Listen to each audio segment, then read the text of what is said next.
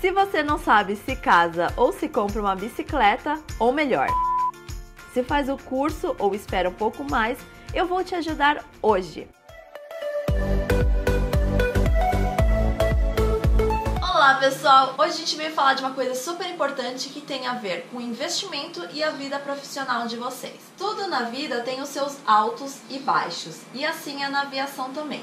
Só que quando a gente está lá embaixo, a gente se esquece que a tendência é a gente começar a subir.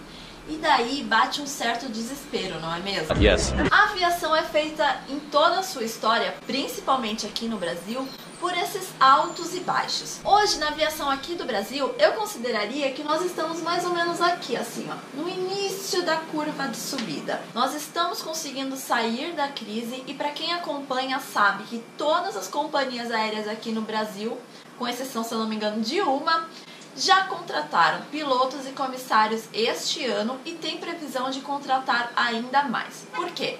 Como nós estávamos lá embaixo, bem lá embaixo mesmo, o mínimo que vocês conseguem imaginar. O que, que aconteceu? Eles diminuíram voo, diminuíram a quantidade de tripulantes. Só que agora com a economia crescendo novamente, as pessoas voltando a viajar, o que acontece? Eles começam a retomar os voos normalmente e precisam recontratar os tripulantes.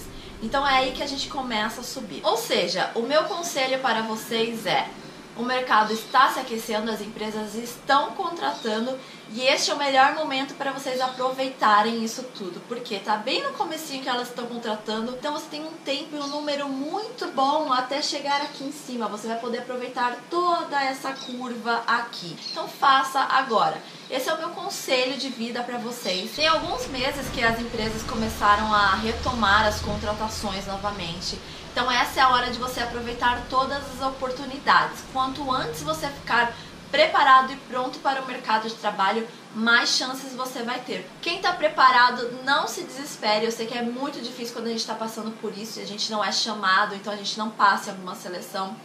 Mas agora que a gente vai aproveitar o, o lado bom da aviação, o aquecimento da aviação, então as oportunidades vão chegar.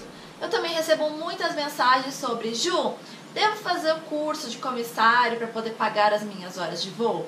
Olha, é muito difícil falar se você deve ou não, porque você pode ter sucesso sendo contratado ou não.